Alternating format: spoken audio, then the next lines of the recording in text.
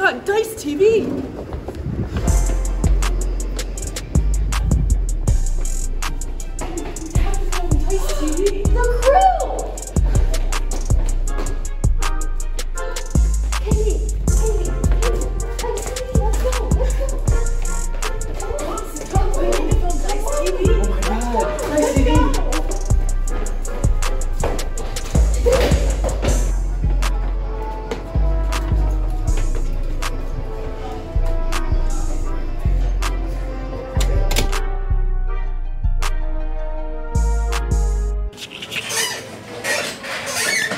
Good morning, Otter Guys. Good morning.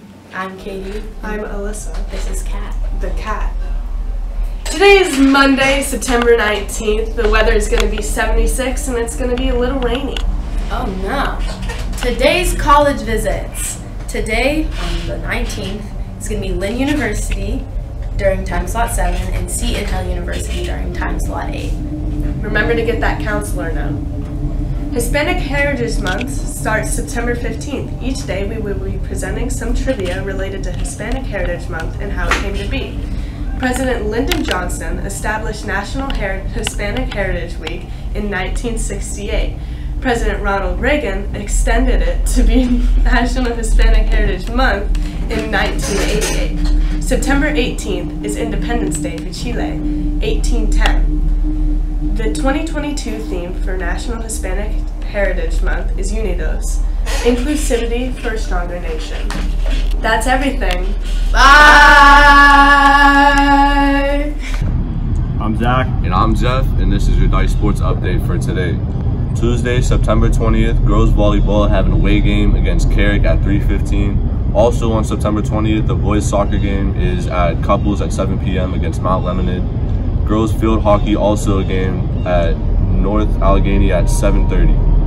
Thursday, September 22nd, the girls volleyball team has a home game against Brashear at 3:15. The, the boys soccer team also have a game home against Norwin at 3:15 at Schenley Oval. Also, Thursday, September 22nd, the football team has a home game against Westinghouse. It is senior night and it's also a green out. And last but not least, also Thursday, September 22nd, girls field hockey has a game against Hamfield at Cupples at 3:15.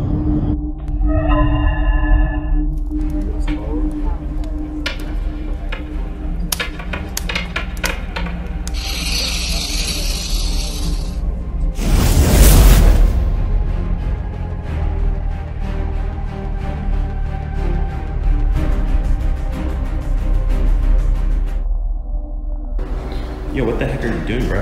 Oh, I didn't see you there. I'm just watching Dice TV with over 700 videos that you can enjoy and 83,000 views. Subscribe and like.